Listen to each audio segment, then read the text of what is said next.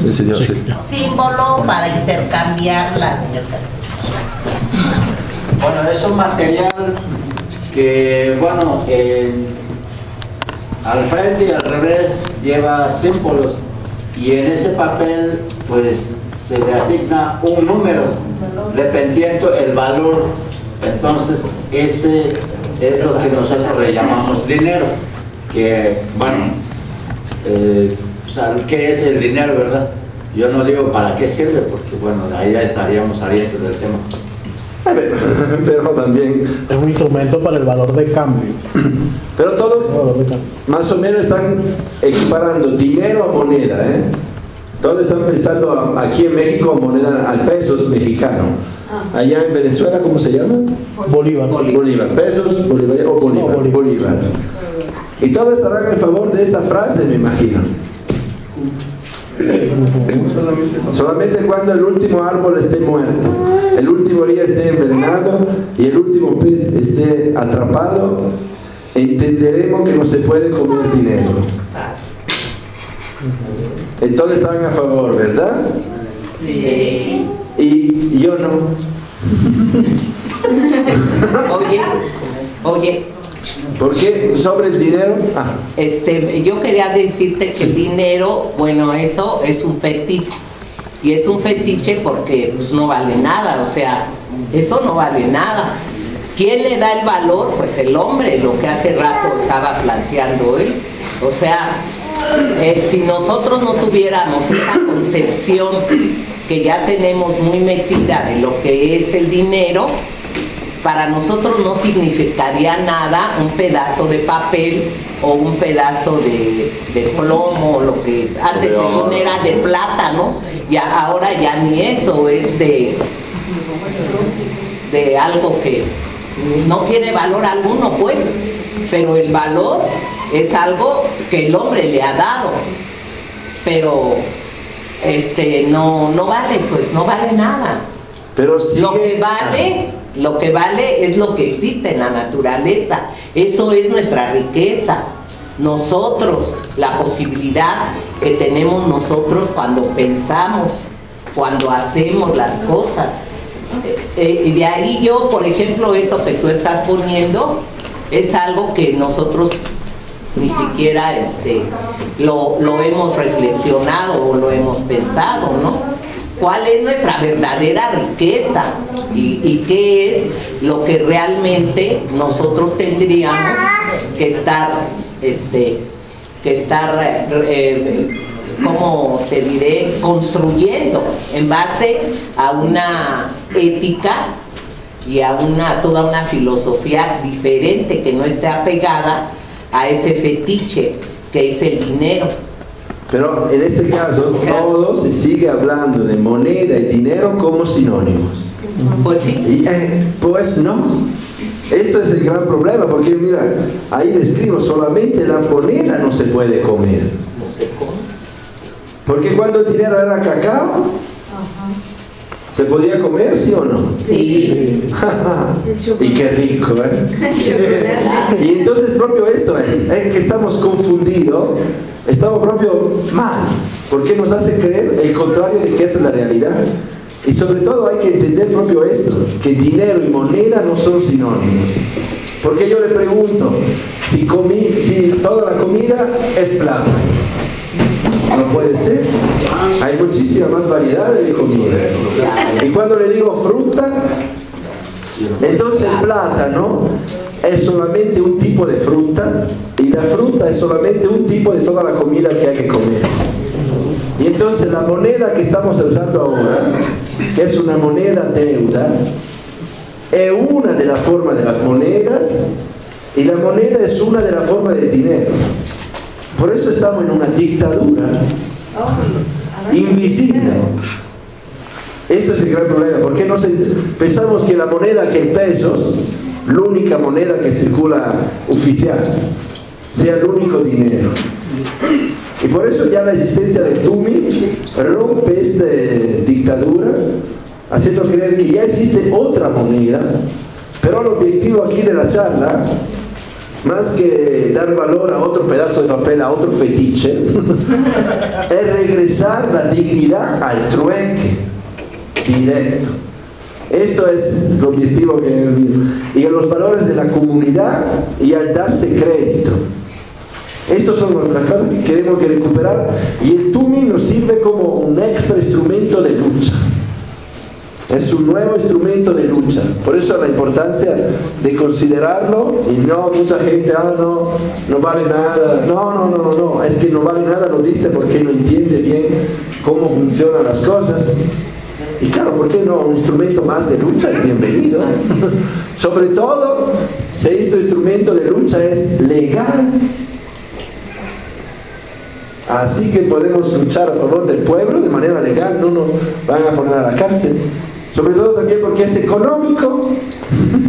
Lo están viendo pasar el tubing. ¿Cuánto habrá costado hacerlo? Y entonces, y rápido, se puede difundir rápidamente. Entonces, es un instrumento de lucha que hay que considerar. Y si la primera vez no se entiende, o la segunda y la tercera, hay que seguirle, porque nos hacen creer que solamente cuando el último árbol el dinero no se puede comer. No, la moneda no se puede comer. Porque también cuando hablan el sistema monetario internacional, hacen creer, dicen que el cacao era la moneda de los mayas. No, no, no, El cacao no era la moneda de los mayas, era el dinero de los mayas. Porque sobre todo esta confusión, y no soy solo yo a decirlo, es que no, no sabemos que, cómo es el dinero. ¿eh? No sabemos qué es y cómo funciona, a pesar que le damos una extrema importancia. Porque cuántas horas del día o de la semana de nuestra vida está dedicada a buscar dinero, en hacer dinero y a no gastarlo y a cómo usarlo. Porque mire qué, escribieron algunas personas. Está claro que la gente no entiende el sistema monetario y bancario porque si lo entendiese creo que habría una revolución mañana por la mañana. Henry Ford, al inicio del siglo XX. O la gente no sabe qué es el sistema monetario y bancario. No sabes cómo funciona. Y es un hecho. Luego, el banquero Rothschild. Permítame hacer y controlar el dinero de una nación y no me importará quién escriba las leyes. Claro, porque cuando tú tienes el control del dinero puede corromper. Así que fácil. Pueden escribir la ley, pero también tú la vas a respetar. y luego Malcolm X, si no eres prevenido a los medios de comunicación, osarán amar a los opresores y a odiar a los oprimidos. Mm. Y de hecho la gente adora el dinero, ¿verdad? Los mexicanos aman el pesos. ¿Y cuál es el principal problema de México? Que el peso no vale nada. Eh, sí, porque se deja devaluar, se deja pisotear por todas las otras monedas. Y los mexicanos lo aman, lo adoran. Y lo otro, el peligro no viene de lo que usted no sabe, sino por, por lo que creemos que es verdad y sin embargo no lo es. Así que no hacen creer que muchos campesinos, porque no han estudiado, o artesanos son ignorantes y entonces estúpidos. Pero muchos profesores universitarios se creen todo el cuento. se creen todo, y por eso no, no, no considera bien valorosa las monedas sociales, comunitarias, porque le quita el estatus. Eh? Porque dando valor a las monedas comunitarias, damos valor a un pedazo de papel. Y entonces dice, no tiene valor. ¿Y dónde está el valor real, como dijo la señora? En el campo, en la madre tierra, o en la capacidad de saberla transformar como buenos artesanos. Y entonces esto le quita el estatus a los maestros, a los médicos, a los que ganan un salario bueno. Y entonces por eso son nuestro enemigo. ¿eh? y la otra que es recién acabo de ver es que Adam eh, Smith, uno de los fundadores de la economía clásica, en el 1700 dijo que hay dos maneras para ser esclavo a una nación, o conquistarlo o endeudarlo. Fondo Monetario Internacional. 27 de febrero salieron a la calle para protestar esta deuda. Entonces hay que seguir en el tema, porque el dinero, no hay que acusar, echarle toda la culpa al dinero en sí. Porque si lo pensamos bien, que es el dinero, no solamente la moneda, ¿a qué sirve? Ahí tiene cuatro funciones y no le veo, no le veo casos malas. Como medida de valor, medio de intercambio, facilitador de trueque directo, forma de pago y forma de depósito. O sea, ¿qué significa? Como un medida de valor, es importante entender esto porque entendemos que para hacer el trueque necesitamos del dinero. ¿Cómo? Como para hacer el trueque necesito del dinero. Porque nos hacen creer, otro engaño, que yo pago con trueque o pago con dinero. Entonces parece dos opuestos, derecha, izquierda, arriba, abajo. No, es que cuando uno hace, no siempre, pero la mayoría de los casos, de cuando uno hace trueque, por ejemplo, yo quiero intercambiar esta gorra con los zapatos de Héctor. Eh, quiero saber cuánto vale, cuánto vale tu zapato. Eh, puede ser que yo así lo hago por, gusto. Pero si viene otra gente, quiere darme sus productos a cambio de estas gorras, yo quiero saber cuánto vale tu producto. Y en la respuesta cuánto vale, si él me dice que vale medio costal de maíz, yo me quedo, ah. ¿Y cuánto vale medio costal de maíz? Entonces necesitamos una común medida de valor para hacer el trueque. Y de hecho estos funcionaban. Cuando se usaba la semilla de cacao, se decía que si esto vale 10 semillas de cacao y esto vale una semilla de cacao, para hacer el trueque ¿Cuál es el trueque justo entre estos dos productos? Si esto vale 10 semillas de cacao y esto vale una semilla de cacao, ¿cuántas lápiz tengo que entregarle a cambio de la, de la libreta? 10. Entonces, si esto vale un peso y estos vale 10 pesos, tengo que darle 10 de estos. Entonces necesitamos el dinero, que sea pesos, que sea oro, que sean plata, sal, cacao, cualquier cosa, para tener una común medida de valor. Esto es la función del dinero. Y entonces no es así malo. Y por eso podemos usar cualquier cosa para dar la, la común medida de valor. Y por eso se necesita dinero para hacer el trueque. Hay que entender que dinero es una categoría. Como le dije al principio, comida, alimentos. Y entre los alimentos hay fruta, verdura, carne, varias cosas. Y entre las frutas hay varios tipos de fruta, entre las carnes hay varios tipos de carne. Por eso hay que entender que la moneda, el pesos, es solamente una de las formas para hacer dinero, para que usamos como dinero. A pesar que vivimos en el total monopolio, dictadura, de pensar que sea la única. Yo al principio le pregunté qué es el dinero y todos me contestaron pensando en el pesos, pensando en la moneda de metal, la moneda de los bancos. Hay que salir de estos. Y eso, algo cultural, difícil, pero ese es el camino. Porque también sirve como medio de intercambio.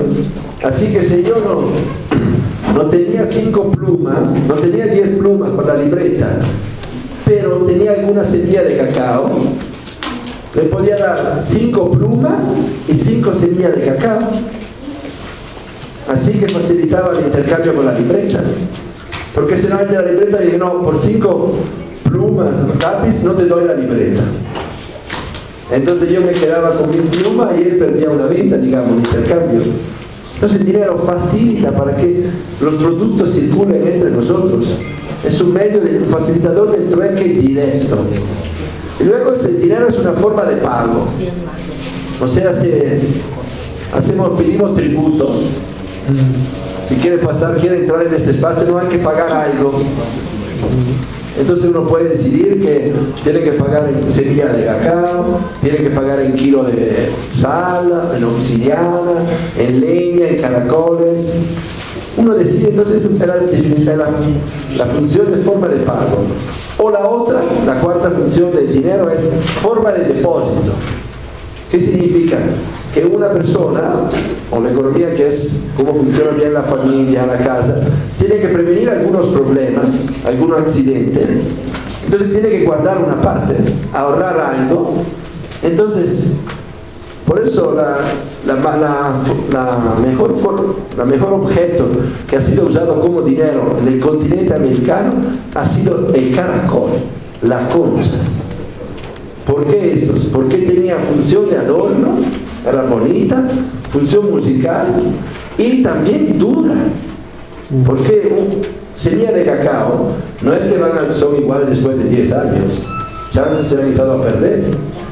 Entonces no es la mejor forma para usarla como depósito. Pero también la obsidiana, piedras preciosas, plumas. Entonces, cada persona escogió cuál objeto usar con, con estas funciones y han sido más de un objeto. De hecho, es absurdo usar solamente una cosa para todas las cuatro funciones. Porque uno puede intercambiar, puede conseguir con lo que sabes hacer. Si uno es músico, uno puede tocar música y conseguir comida sin tener que intercambiarlo con productos. Si uno, como el chico que recitó la poesía al principio, que bonita, como actor, puede conseguir. Entonces, hay que entender que todo puede ser dinero. Digo todo un ejemplo clásico son las mujeres que no trabajan. Ahora ya, pero en el pasado no trabajaban, no ganaban dinero, pero de una forma pagaban. O con el marido o creando la familia, educándolos. Entonces caemos en la trampa de pensar que solo la moneda es dinero, solo el pesos. Por eso el hecho que el tubing está existiendo, está funcionando de forma legal, que ya funciona en 15 estados, tiene más de 5 años, es una demostración que sí se puede. Y sí hay que romper este, este monopolio. Porque mira, el dinero no es más que un acuerdo de una comunidad para usar algo, algo con las funciones del dinero, sobre todo para facilitar el intercambio cuando no se da crédito. Es importante también esta frase, cuando no se da crédito. Porque ahora uno puede salir sin dinero, pero si logra comprar cosas, usar servicio, ¿eh? diciendo, garantizando con su palabra, mañana te voy a pagar, mañana te voy a pagar, mañana te voy a pagar. Él logra comer, hacer las cosas que quieran, pero necesita que las otras personas le den crédito. Así que en un grupo de personas, entre amigos, uno puede vivir sin dinero, te doy crédito, ahora vamos a comer a tu casa, la próxima vez vamos a comer en la otra, tú te quedas en mi casa, yo me quedaré en las tuyas. Y no circula dinero, no es que... Y tampoco uno toma bien apuntes de cuando nos hacen creer que estamos en crisis, pero no es así. ¿Por qué de crisis? ¿De qué crisis estamos padeciendo? ¿Están faltando los productos? ¿Está faltando comida? ¿No hay cosechas? ¿Está faltando gente que quiere trabajar? Nadie me contesta. Entonces, ¿qué me qué? Le pregunto, ¿está faltando comida? ¿Está faltando gente que quiera trabajar? No. Hay necesidad de trabajo. No, no, no, entonces, che, ¿por qué estamos en crisis? Porque no todo el mundo puede obtenerlo. No, pero, ¿Qué no puede obtenerlo? la, la, la comida. No, más sí, pero hay en abundancia. Se, se echa a perder. Porque dependemos del dinero, o sea, no va a pensar en el dinero y no queremos producir. Estamos en crisis porque falta dinero. Papel. No, papel. Moneda. ¿Se está dando cuenta que es una estafa? ¿Podemos estar en crisis por falta de papel? si no hay papel, hacemos otro. porque estos ya no representa oro, ¿eh? es solo un papelito. Que el Estado dice que tiene valor y por hecho que el Estado tiene, dice que tiene valor y que la iglesia también le da un toque de sagrado porque pide diezmo con estos, toma valor. Piénselo, esta es una, es una estafa esta crisis.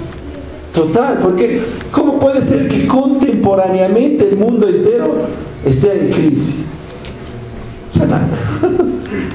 Es ilógico, no es racional. Mundo, países así diferentes, países que entran en el capitalismo, países que salen del capitalismo, países socialistas, países comunistas, países donde no saben ni idioma. En crisis todo es igual. Porque esta es una mercancía de un grupo de familias. Es una mercancía de un grupo de familias. Y ello hace que haya escasez de estos porque le sube el precio a la renta. Sí, porque se puede. la gente, los mayas, han vivido muy bien con la semilla de cacao, con otra forma de dinero. Porque son las formas de intercambio que hay que entender bien.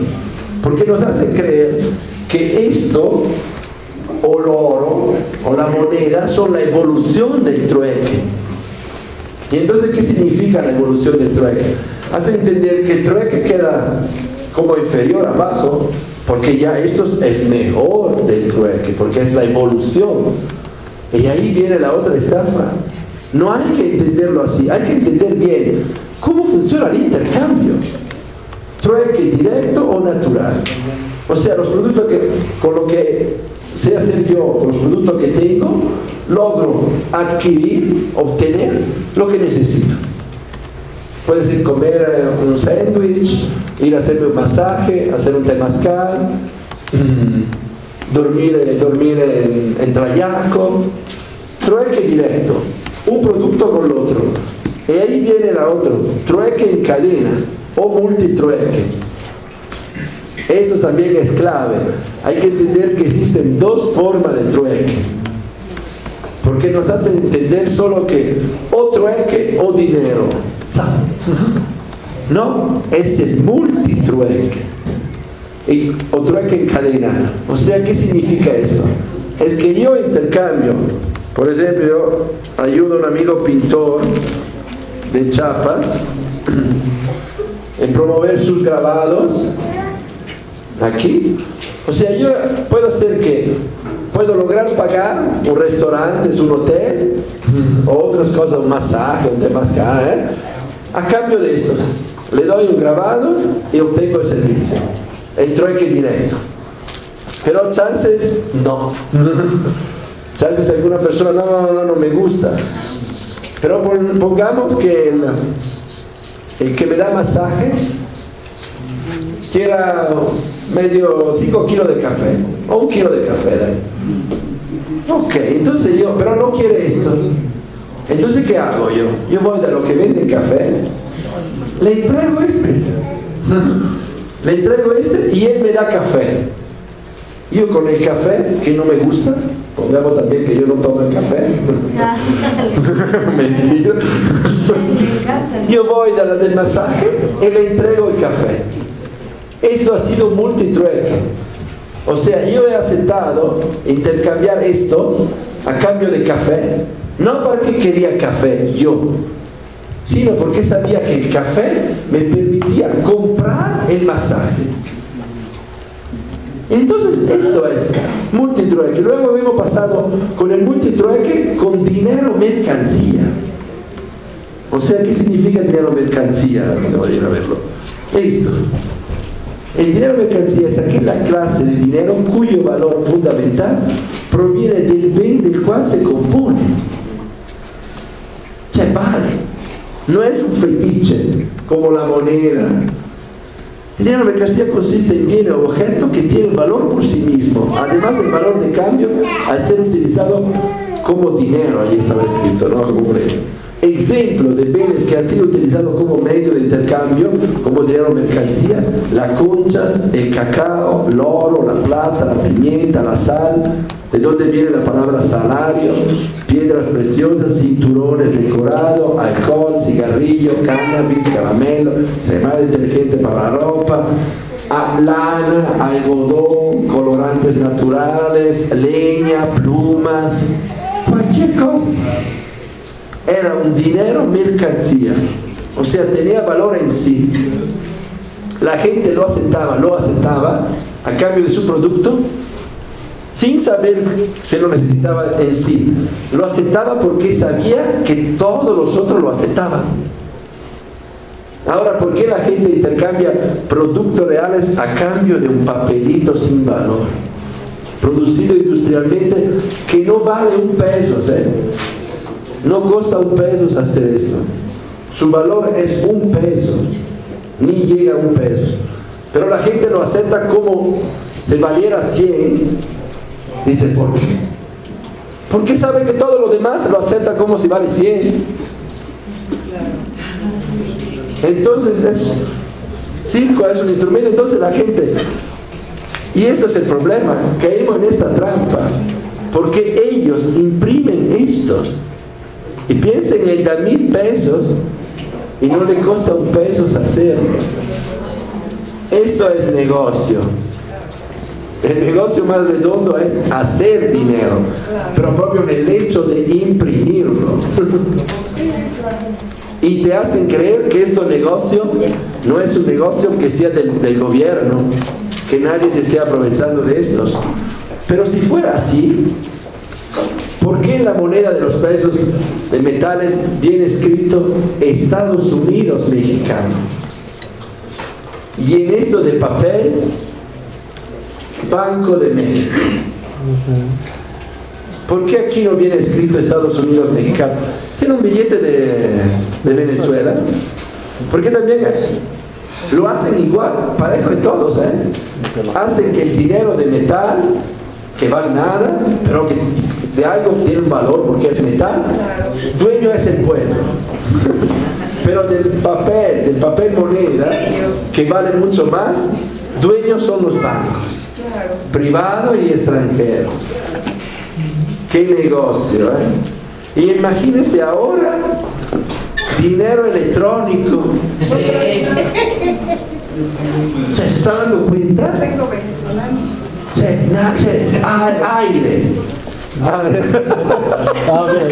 Mira, Es que se lo han dado Rolando. Ay, sí, no es que se lo ah, por eso ya, ya me espanté de un lado porque dije, República Bolivariana de Venezuela, parece entonces que es de los venezolanos, pero damos vuelta, Banco Central de Venezuela. ¿De quién es el Banco Central de Venezuela? del Estado. Eh, no, me han dicho que no. Hay que enterarse bien sobre esto. Pero, pero Venezuela, Venezuela, Cubano. Venezuela, Irán, esto sí, Venezuela, Irán, Corea del Norte y Venezuela son uno de los pocos países que quedan que son dueños de su propio papel de moneda. Pero esto ya hicieron las leyes que no va a funcionar. Ese es de Cuba, cubano. Ya no va a funcionar esto, ¿eh? Ya Castro, el malo, hizo la ley que esto va a perder de valor legal. Ya firmaron la ley. Pero yo he hablado con algunos venezolanos y me han dicho que no es totalmente del Estado. Y esto totalmente hay que investigar cuánto es privado y cuánto es público.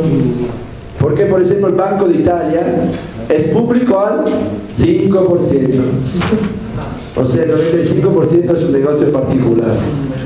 Y el Banco de Italia tiene el 12% del Banco Central Europeo, que imprime euro, papelitos.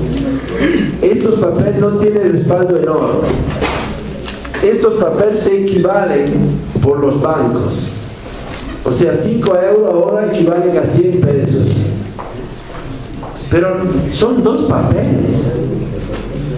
O ¿Por qué uno tiene que valer 20 veces más? ¿Por qué lo deciden ellos a su antojo? Y cuando digo ellos, digo el sistema monetario internacional, más allá del sistema capitalista. El sistema monetario internacional es privado. Y son oh, lo peor de todo. ¿Por qué lo peor de todo?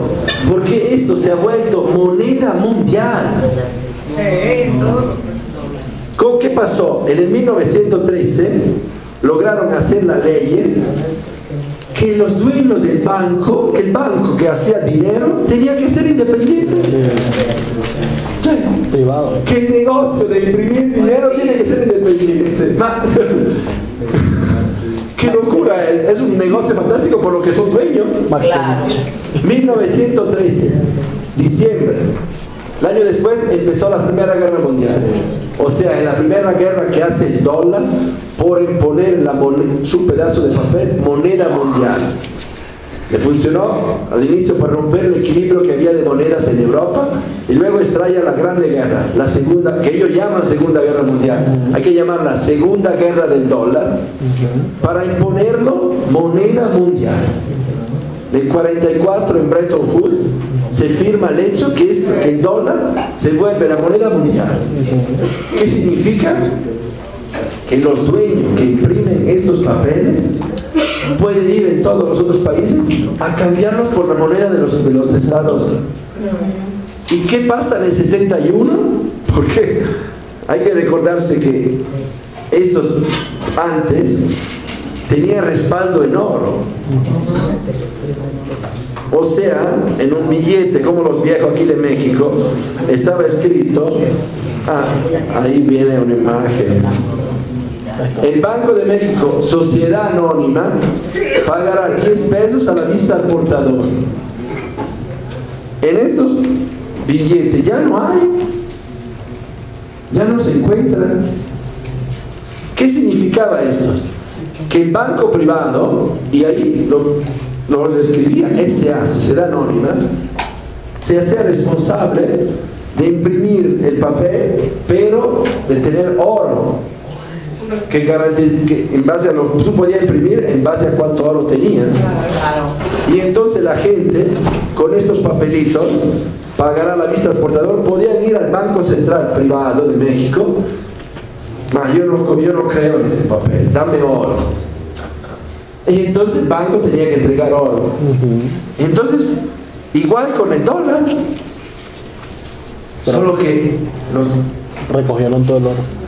Solo que empezaron a imprimir más y más. ¿Por qué la gente no va a cambiar el oro? Pregunto a ustedes, si yo le regalo oro, ¿qué van a hacer con oro? ¿Qué van a hacer con el oro físicamente? ¿Qué valor de uso le van a dar? Cambiarlo por dinero. O sea, eh, cambiarlo ya por otras cosas. Sí, cambiar. Entonces es un multitrueque, no es un trueque directo. Entonces nadie de la gente que decidía iba al banco a cambiarlo, porque digo, che, se tengo que ir al banco a cambiar estos, a cambio de me- 20 gramos de oro, digamos, y luego con los 20 gramos de oro tengo que ir a cambiarlo por ah, 20 kilos de maíz, directamente voy con este papel a cambiarlo por 20 kilos de maíz. ¿Por qué tengo que hacer dos cambios? ¿Por qué tengo que cambiar este papel en oro y luego cambiar el oro en maíz? Directamente, ah, Porque el oro no se puede comer, entonces el maíz sí se puede comer. Eh, entonces la gente, el banco vio que la gente no venía a cambiar el oro y entonces empezó a hacer más billetes. Hacía con un kilo de oro, hacía 100 billetes que valían un kilo de oro. Porque de 100 personas, una vendrá, él entregó el 10% empezaron ellos a decir que iba a cambiarlo. Entonces, ¿se imaginas cuántas cosas han podido comprar prometiendo oro a respaldo? Y luego, el dólar en el 71 admite que no hay respaldo en oro. Mira la cara que hizo. ¿Qué? ¿cómo che, se vuelve un pagaré, una cambiare, un pagaré, sin cobertura, sin respaldo. Y un pagaré sin respaldo, ¿cuánto vale? Nada. Nada, nada. Y entonces el dólar, que significaba decir que no valía nada. Pero ¿qué había pasado? Porque no son, al contrario, son muy desarrollados los banqueros. ¿Por qué nos pagan a nosotros para hacerle su trabajo? Y entonces, ¿cuál fue el, engaño, el mecanismo que, el dólar no cayó? fue juntarlos al petróleo. Estamos hablando de los años 70. Los países habían entrado en una dependencia del petróleo tremenda.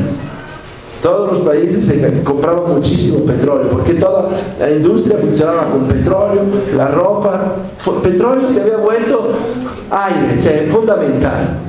Así que los del Estado de la Federal Reserve, no los gringos, los dueños del banco privado que imprime los dólares, dijeron, ok, ya esto no vale, no, no tiene respaldo en oro, pero si tú quieres comprar petróleo, los amigos árabes, nuestro parte de nuestra criminalidad organizada, lo venden solamente con dólares.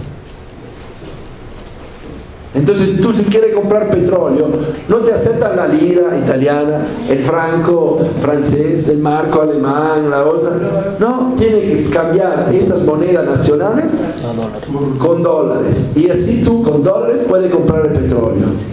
Entonces por eso el petróleo se llama oro negro.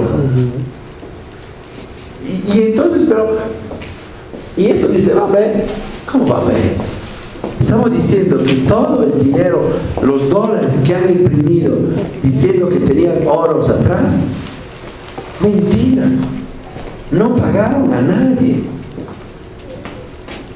Che, ¿por qué pagaría la vista al portador? Uno puede escribir su propio dinero. Pongamos uno que usa el ejemplo de un amigo, don Pascuale, que hace aceite de oliva, que se cosecha en noviembre. Entonces tarde. Y en el verano se queda sin efectivo.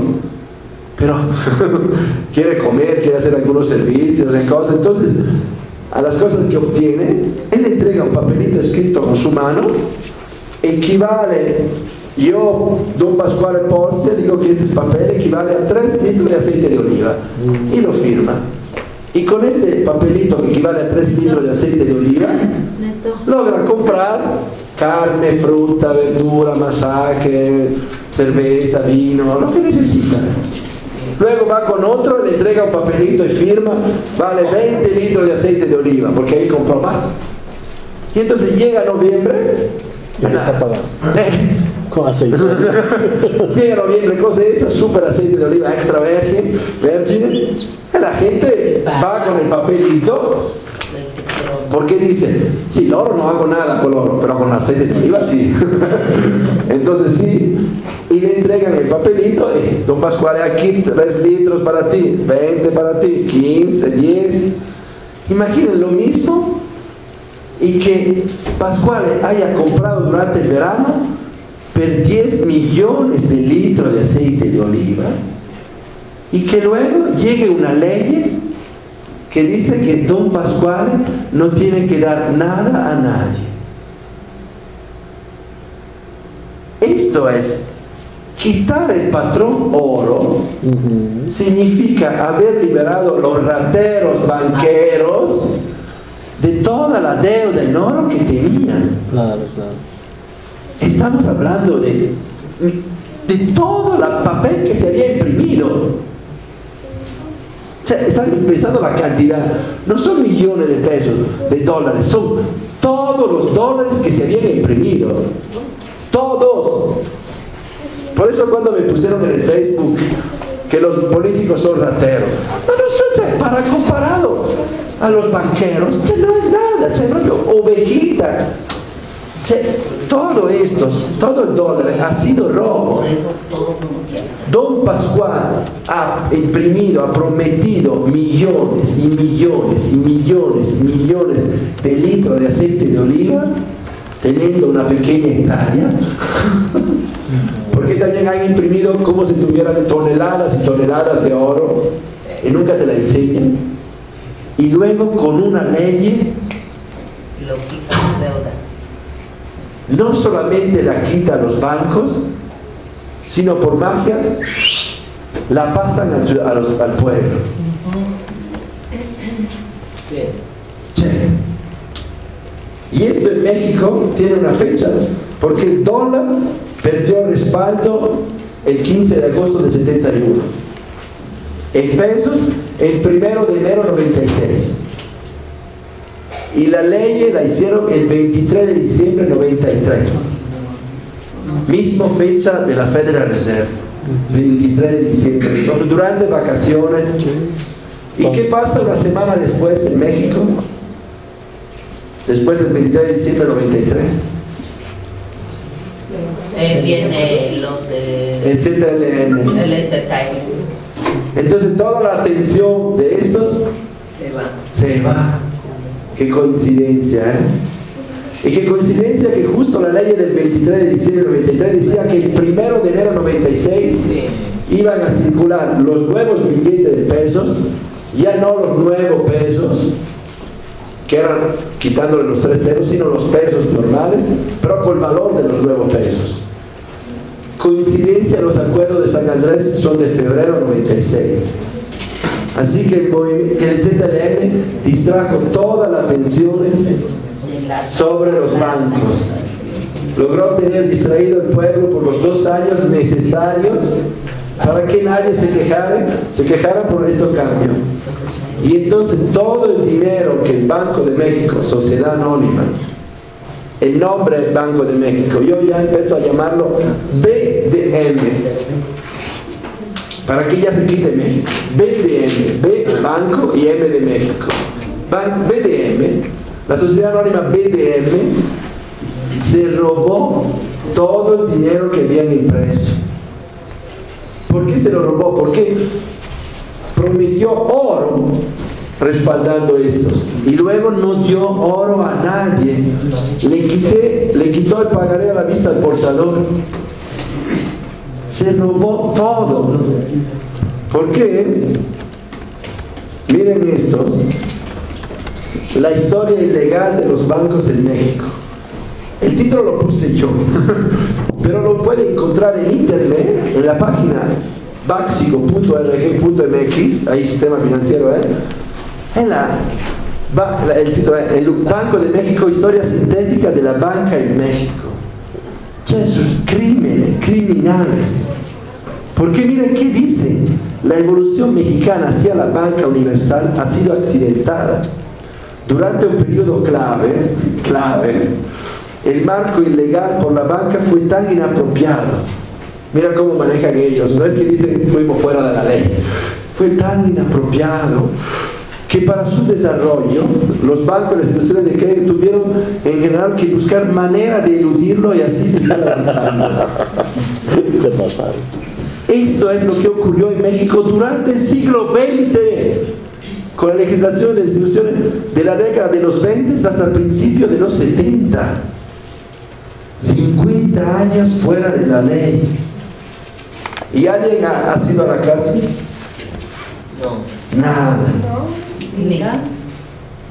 Esto del banco, de la banca universal, es algo interesante. ¿Por qué? José Miguel tiene dinero. Me presta 50 mil eh, pesos, yo no tengo nada, y le doy 2%. y Ernesto necesita dinero. Entonces, dinero suyo Claro. lo presto a él al 20%. Listo. Sí, a él le doy el 2 Negocio redondo. y él le cobra el 20 Sí. y yo no lo tengo. Entonces al principio los bancos no podían hacer esto. Che, el banco que recibía el préstamo da, da Miguel no podía prestar dinero. Eh, no, porque che, Y yo que tenía que prestarlo tenía que ya tener este dinero, tenía que ser mío el dinero que prestabas a él. Entonces los bancos estaban, en la forma de, estaban divididos. Por eso ahí lo llaman banca universal, criminal. Porque luego, con los 50 mil que me, que me da él, yo puedo prestar 10 veces por ley. Sea, por eso al principio Henry Ford dijo, está claro que la gente no entiende cómo funciona el sistema monetario bancario. No se sabe. O sea, es un crimen. Cri- Porque permitir estas cosas no es justo, ¿no? Y mira también algo que cuando uno lo lee me dice, "Man, no puede ser. Lee, lee como expropiación bancaria, es una parte de la, de la historia del Banco de México, sintética. De acuerdo con el significado del decreto expropia- expropiatorio correspondiente, el presidente José López Portillo, expropió la banca privada por las siguientes razones. Estamos hablando de los años 80. Los bancos privados habían obtenido ganancia excesiva en la prestación de un servicio público concesionado. Habían creado, de acuerdo a sus intereses, fenómenos monopólicos con dinero aportado por el público a fin de que el crédito no siguiera concentrado en el estrado alto de la sociedad y llegara oportuno y barato a la mayor parte del pueblo. Yo, yo puse 1, 2, 3, 4 y 5, porque en el documento original está todo escrito consecutivamente, para que la gente no le dé importancia. Pero miren, en los años 80 le quitaron los bancos también para facilitar el salir de la crisis económica que había agravado en la falta de control directo del Estado sobre el sistema financiero. Y para mantener la paz pública y el poder eh, adoptar medidas necesarias orientadas a corregir trastornos internos. Son motivos válidos que siguen ahora. porque los bancos siguen con estos, con estos derechos, porque se expropió en los años 80 y luego entre junio del 91 y julio del 92 se privatizó de nuevo. Pero es interesante leer la parte sobre arriba, porque es interesante entender que no toda, no fue una nacionalización. Ahí está escrito. No es una nacionalización. Es un expropio. ¿Por qué es un expropio, no una nacionalización? Cabe también recordar los casos de excepción para ese acto expropiatorio. Quedaron exceptuadas de expropiación las instituciones nacionales de crédito y la banca mixta, en razón de que ya formaban parte del gobierno. Pero hay que ver en qué, en qué porcentaje. Más sobre todo es esto. Ah, el Banco Obrero que pertenecía al dólar. Además de Citibank en la oficina de representación de banco extranjero en razón de que eran entidades de propiedad, eran, no eran... ¿Qué significa? Que los extranjeros podían seguir robando, ¿es así? Estos crímenes seguían haciéndolo. ¿Y por qué no eran mexicanos? Pudieron seguir haciéndolo. Sí. ¿Están entendiendo? Robar es prohibido. Ah, pero tú eres extranjero. Ah, no. Por los extranjeros se puede robar. Y esto es por ley. Escrito por ley. No estoy inventando nada. ¿eh? esta última es la explicación por la cual a este acto no se podía llamar nacionalización, pues no se expropió a personas físicas y morales extranjeros. esto se entiende perfectamente que las leyes en México las hacen los extranjeros. Los extranjeros se hicieron las leyes para robar los bancos a los mexicanos y luego en el 91 y 92 comprárselos. No manches.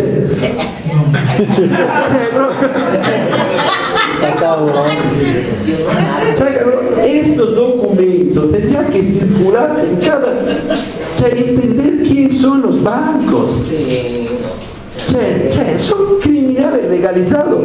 Ahí que, porque si mira, había 60 bancos, lo nacionalizaron, es algo tremendo, tremendo. Y, esto lo hicieron, así que en los años 90, miren por también como la coincidencia de las cosas, ¿eh?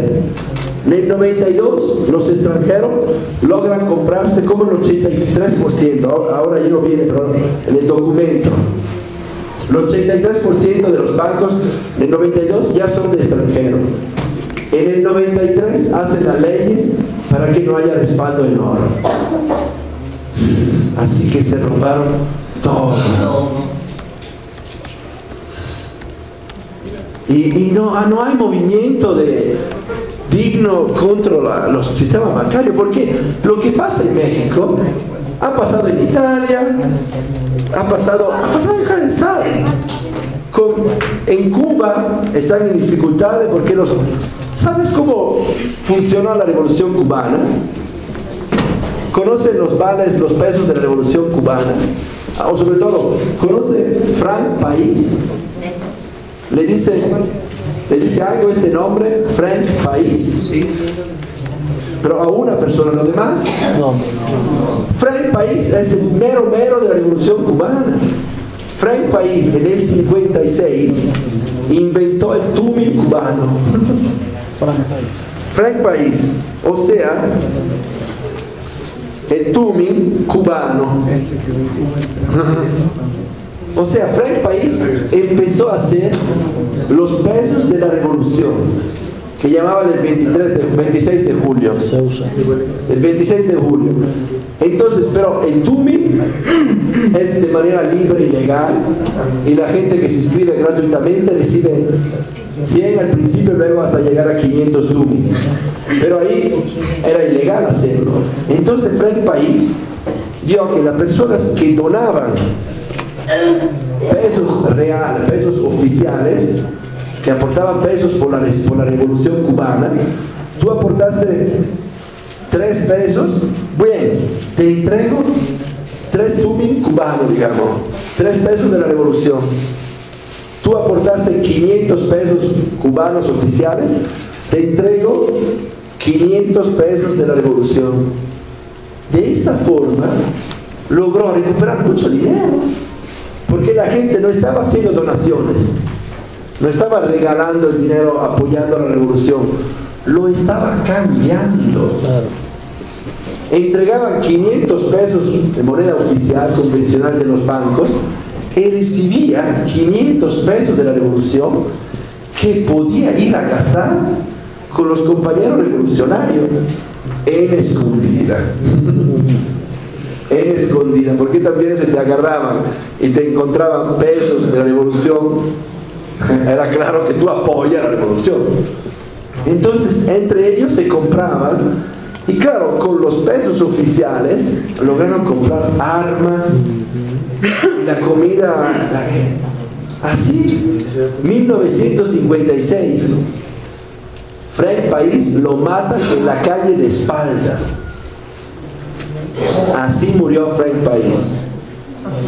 Y, no, y la historia no lo recuerda. Porque esto es, un, es el dinero que tendríamos que hacer, imagínense.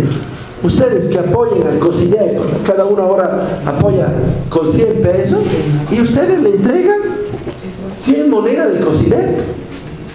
Ustedes recolectan, somos 50 por 100, 5 mil pesos y ustedes regresan a casa con menos 100 pesos, pero con 100 Tú. 100, no, tú llamámoslo cos, cosidep, cosidep, codep, cosidep de Chiapas, se puede dar una- Con cinco de... Entiende la fuerza que, que puede tener estos, la creación de estos, porque en la resistencia, en los movimientos siempre no hay dinero. Eh, nos gustaría hacer más lona, hacer promociones, hacer volantes, libros, cosas, pero no hay recurso. Que la gente que venga, darle, darle el dinero que gastamos en la gasolina. Y esto se puede hacer. Por eso yo creo muchos en las monedas comunitarias. Desde 10 años la conozco y la apoyo. Y me gustó enormemente el Tumi por la facilidad y la sencillez del Tumi. Que los compañeros lo crearon en noviembre, oficialmente se hizo conocer en noviembre del 2010. Estamos hablando de 2010, porque ellos esperaban después de 1810, 1910. Yo también viví aquí. A ver, la revolución es 2010. Sí, sí, sí, algo va a pasar, algo va a pasar. Pasan los meses. Nada. Llevamos seis años esperando. Nada, es lo mismo compañero de Veracruz, de Espinal, aquí no pasa nada. Entonces, hacemos nosotros, imprimimos nuestro dinero, nuestro propio dinero, nuestra propia moneda. Y lo, lo hicieron pensando de estar fuera de la ley. Y el 6 de noviembre, entre 70 personas, se repartieron 500 tumi. Diciendo, ahora entre nosotros 70, compramos entre nosotros. ¿Por qué se había dado cuenta? Allá en Espinal, Veracruz, un, pe- un pueblito pequeño, que la tienda estaba llena de comida, de ropas, ropa de vestir, comida, carne, ¿verdad? Y la gente con necesidad de comprar. Pero faltaba el anillo, faltaba papel para comprar, para que los que vende verdura pueda vender verdura y que con lo que ha ganado de la verdura puede ir a cortarse el pelo. Con lo que, con lo que ha cortado el pelo, el dinero de la verdura, que es el mismo billete que circula. La economía empieza a circular. No había papel, lo imprimimos. Es así. ¿Qué está faltando? ¿Está faltando papel? Parece la cosa se- es uno ríe.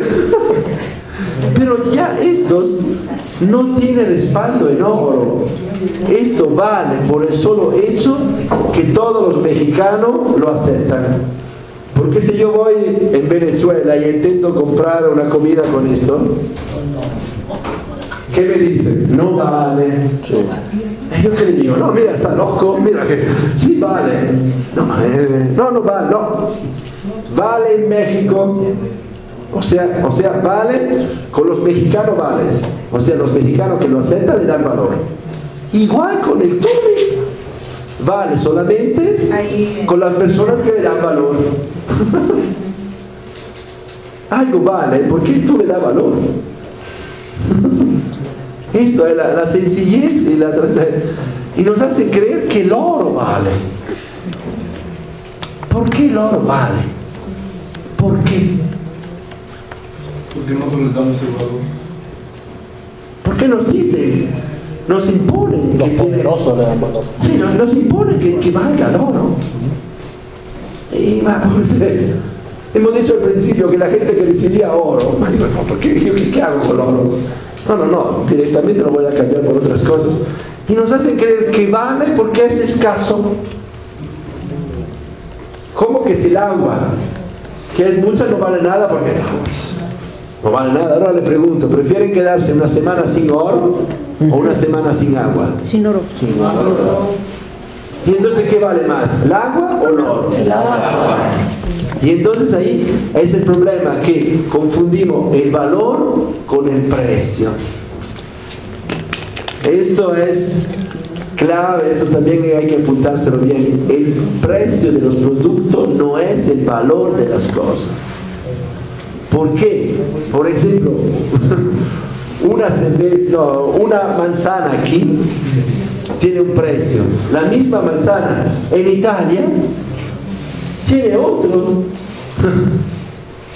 Y el mismo mango en temporada de mango tiene un precio. Y cuando él tiene En otro. Venezuela se pierde el mango. ¿Eh? En Venezuela se pierde el mango. Se En Venezuela sí se pierde. Se tira. En las calles. En Italia lo venden a 3 euros, 60 pesos un mango. No hay ahí. Claro, en la tienda que vende en el centro.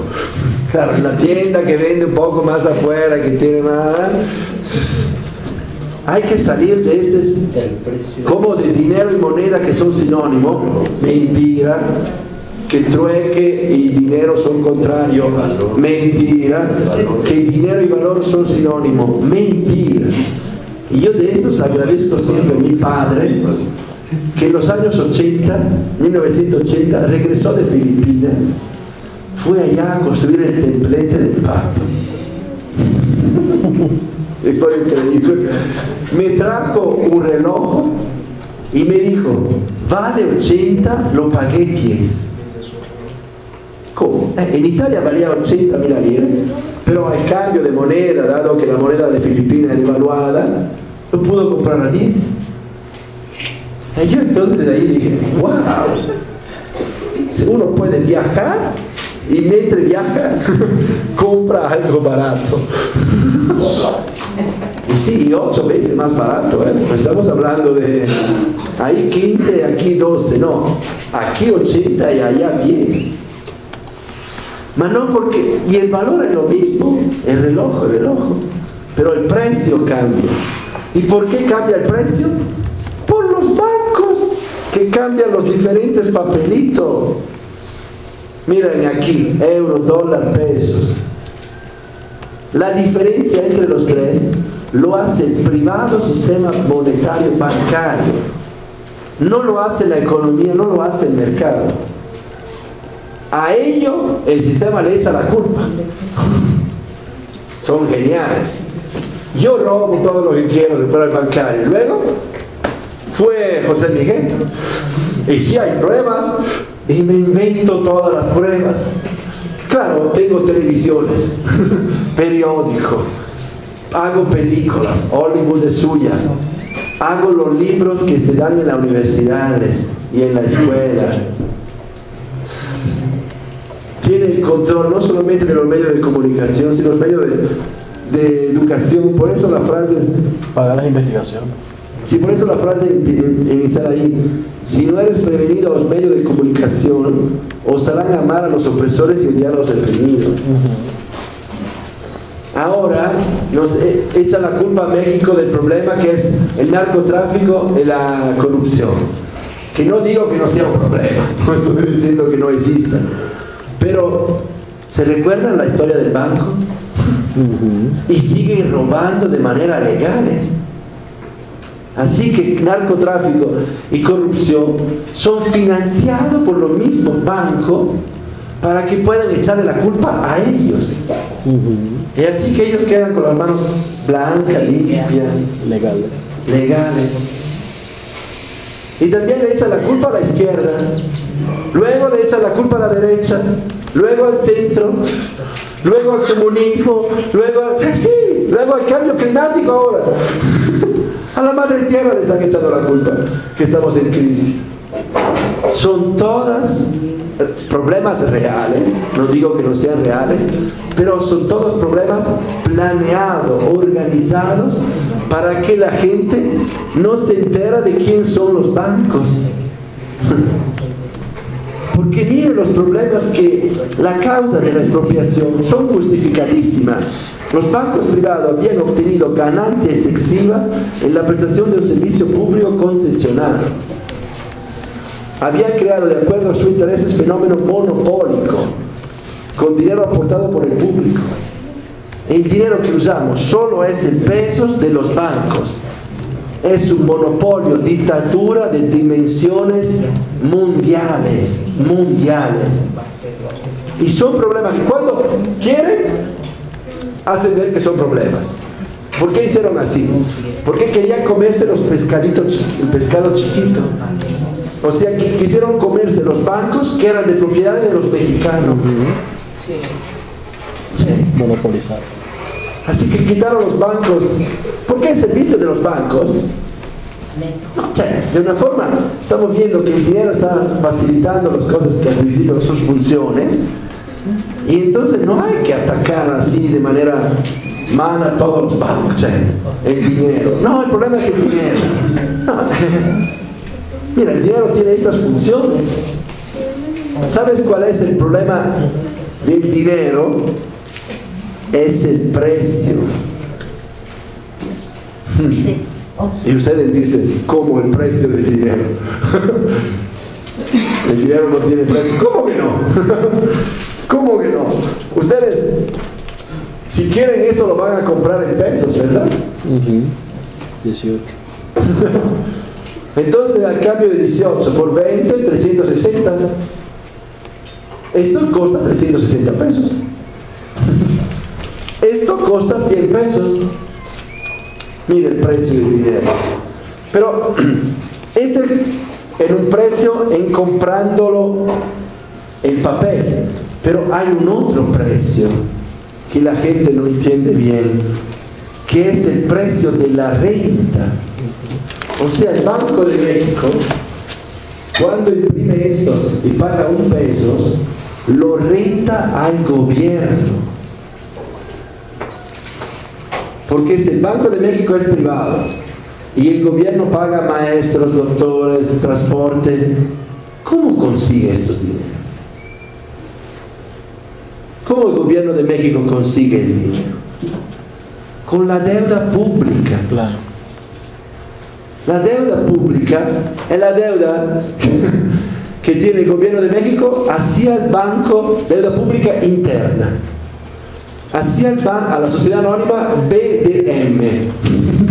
Empezamos a llamarla BDM, banco, para que se quite la palabra México, para que entendamos que es, son otros. ¿Y cómo se endeuda el gobierno de México? Endeudando a todos sus ciudadanos. ¿Se dan cuenta del negocio extra redondo de los bancos? No solo se han robado, en el pasado se ha robado todo lo oro. Ahora entró otro business. Le rentamos un papelito como si fuera oro.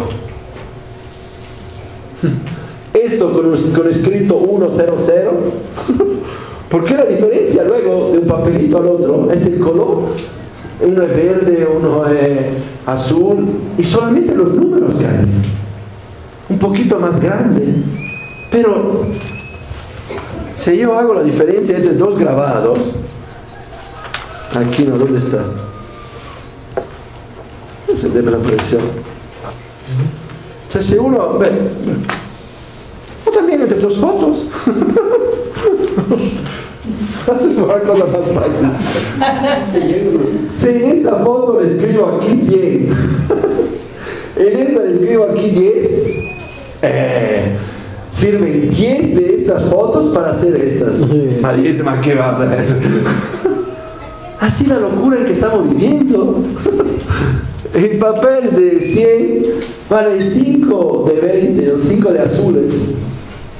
Man, ¿por qué sentir? ¿Por qué lógica? ¿Por qué viene la ley? ¿Por qué la ley dice, la ley mexicana dice que aquí este es con un 100 equivale a 10 de estos con unos ceros? Valor numismático se llama. De la palabra griega nomos, que significa ley. Es un valor por ley. O sea, el, el pedazo de papel de PDM tiene valor porque la ley le da valor. Y ahí ve, ve cómo los rateros se roban todo, todo hacen la ley diciendo que sí tiene valor.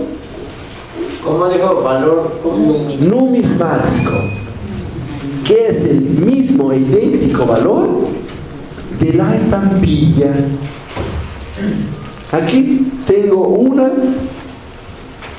de, de 100, no, no, de 100, no, una de 7 pesos, una de 11 pesos, una de 5.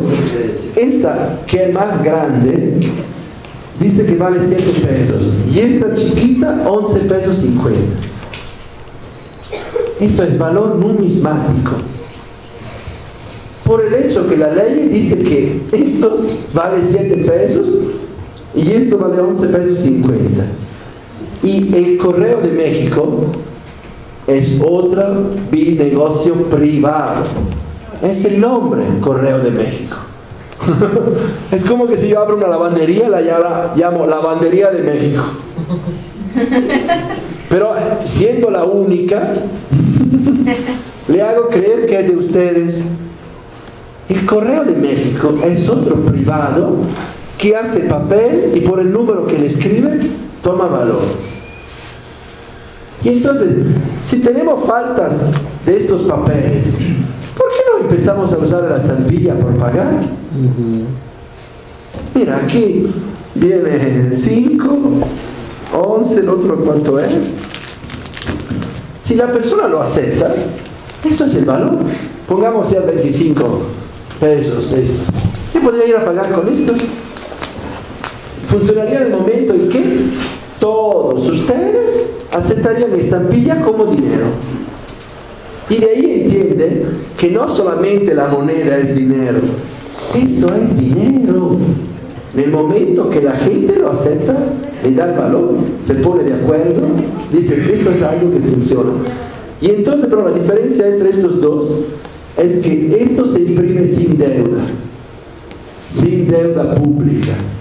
Esto no endeuda a los mexicanos. Es un negocio de la Correo de México y venderlo con pesos. Pero esto sí endeuda a los mexicanos con un intereses que es como el gráfico. Porque cobran intereses sobre intereses. Para entender qué es el interés, el interés es la renta de pesos. Porque tú cuando renta un celular, me lo presta un día y lo devuelvo, él no me pidió nada, él me lo rendió gratis. Me lo presta una semana, me lo devuelvo y no me pido nada a cambio, me lo prestó gratis. me lo presta un año, lo devuelvo, Ve, dame algo, dale, porque yo me he quedado sin celular un año. El algo que le doy, 10 tumen, 100 pesos, es el precio de la renta para haber usado el celular. De hecho, cuando te prestan 5 mil pesos, tú tienes que devolverlo. Esto pongamos en los 5 mil. Si tú le devuelves y no pagas nada, ha sido un préstamo gratuito. Y esto es el TUMI. Es un- no hay intereses, es un dinero gratuito. Te lo prestó gratis. El TUMIN se presta por un mes, dos meses, diez meses, un año, tres años. Cuando uno se hace socio, gratuitamente. Si quiere salirse, lo devuelve sin ningún interés. Y ahí ve la diferencia de cuando compra una licuadora de 500 pesos en Electra y luego la paga 3 mil. O sea, el precio de la renta de los 500 pesos fue de 2.500. ¿Por qué? 3.000 menos 500 que eran el- lo que me ha prestado, que eran 2.500. Entonces, este es el precio. Que el precio, la renta, el prestarnos un papel. ¿Se está dando cuenta? Estamos pagando la renta de un papel. Por eso esto es la demostración que en lugar de pagar la renta, lo hacemos nosotros. Como por ejemplo la silla, ¿la está rentando o la compraron? Claro, porque si uno se está dando cuenta que renta una mesa de mil pesos a 10 pesos diarios y la usa todo un año, se va, eh, 10 pesos por 365 son 3.650. Mejor me la compro a mil pesos. Lo mismo que tendría que pasar con esto. La gente no reflexiona que esto tendría que comprarlo. Sobre todo, aquí cerramos, dale. Sobre todo porque el precio es intereses sobre intereses. O sea, te rentan una mesa. El primer mes te paga.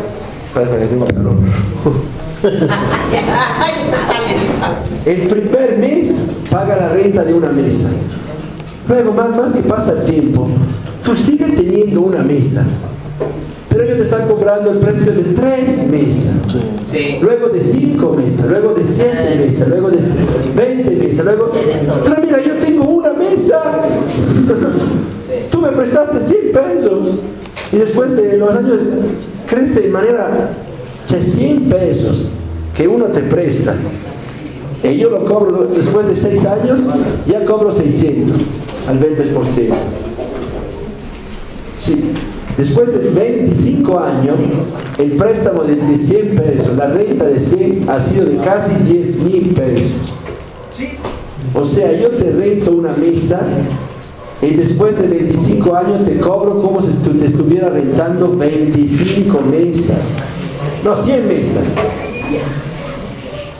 Es, es- es normal. ¿Es posible que esto sea una práctica legal? Se llama usura.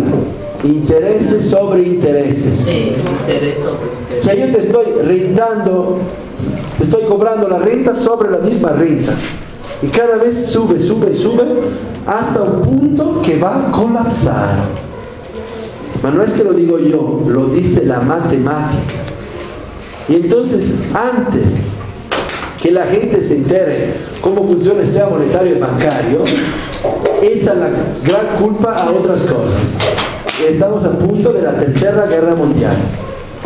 ¿Por qué va a pasar algo fuerte? Porque esto de verdad no valdrá nada. No tendrá respaldo ni con oro, será un papelito propio. Y de hecho, ¿qué están haciendo ahora? Le están subiendo el precio a 18, 19, ¿eh? para cambiarlo. para cambiarlo con otras monedas que sí valgan. Porque la moneda que sustituirá el dólar, la moneda mundial que sustituirá el dólar, ya se sabe cuál es. El yen chino. ¿Y por qué lograr sostenerse? ¿Por qué el yen logrará... "Ah, voy a ser yo la moneda mundial, no tú, no tú, no yo, yo. Porque ya no están diciendo que China tiene mucho oro. No lo están diciendo. A los gringos por los chinos. Está bien endeudado, mas sobre todo la tecnología, celulares, máquinas, computadora, carros, ¿eh? Todo viene de Asia, sobre todo de China. Así que si antes tú querías comprar el petróleo y solo te lo vendían con, el dólar, tú dijiste, ok, el dólar sigue teniendo valor, próximamente tú quieres comprar tecnología, está bien, pero te la vendo solo con mi moneda. Y sé cómo pasó en la crisis del, del petróleo, el precio del petróleo cuadruplicó, creció cuatro veces. Y entonces el precio de la tecnología va a crecer de cuatro veces. Francis. ¿Por qué va a crecer cuatro veces la moneda china? Ahora se cambia con dos pesos 60. O ve hace algunos meses, ahora no sé bien el cambio. Mañana se cambiará con 10 o 15 pesos. Así es, estamos en un mundo de papeles. Y son ustedes responsables de la explotación que, que está padeciendo México y los mexicanos, porque son ustedes que le dan valor a esto. Dándole valor a esto, acepta la explotación de estos con esto. Que esto se cambie 20, 18 a 1 o 20 a 1 con el euro. Entonces, si quiere continuar toda la justa lucha que están haciendo, también empiecen una lucha monetaria. Y la mejor forma de hacerla es trueque directo, aceptando el trueque, dando crédito. Esto le, va a la madre, da la madre a ellos, porque hay que llegar al punto que ustedes no van a creer en estos papelitos. Porque lo que son ricos, ricos, son ricos de estos papeles. Pero si ustedes no lo aceptan, Sí. le hacen el dedo, cómetelo. Dile, dile al gringo, ¿dónde está? Cómetelo. Yo no te vendo mi... Ahora no se puede empezar de día a la mañana de no darle valor a esto. Hay que ser realista. Entonces, empezamos en una forma complementaria. ¿Dónde está el Tumi? O sea, si yo te acepto 100 pesos, pero tiene que ser acompañado con una moneda social, moneda comunitaria, para que el hecho que tú, que tú tienes estos significa que está de mi lado. Era como en Cuba, si tú tenías los pesos de la revolución cubana, significaba que estaba apoyando, porque estaba tomando el riesgo de tenerlo.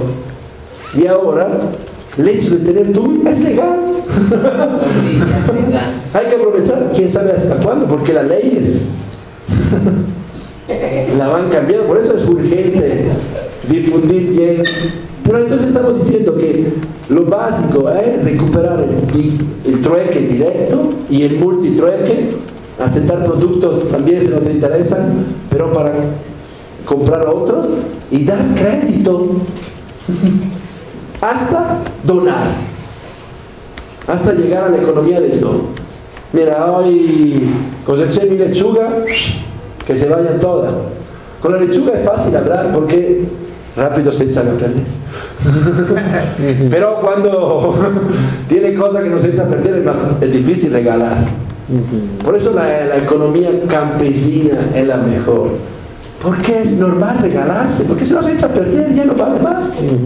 O te lo regalo, o te lo doy a crédito. O sea, te lo regalo, no te lo doy a crédito. A ver, no me va a pagar, pero mejor que se echara a perder en, en la casa. Entonces la base es la cultura contadina, eh, campesina, contadina es italiano, disculpe.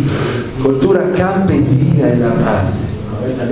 Por eso me felicito, me gusto estar aquí a hablar con ustedes, porque así con ustedes se pueden hacer verdadero cambio. Y no ir a hablar con las universidades, donde ellos son esclavos, son esclavos de la moneda. y sobre todo las ciudades. Por eso es bueno aquí en Tlayaco, donde hay mucho autoempleo, donde hay mucho, ya mucho trueque, aquí el mismo sábado, hoy en la plaza, se hace mucho, mucho cambio. Claro. Bien. Entonces, dinero y moneda no son sinónimos, es la trampa más grande que no quieren hacer.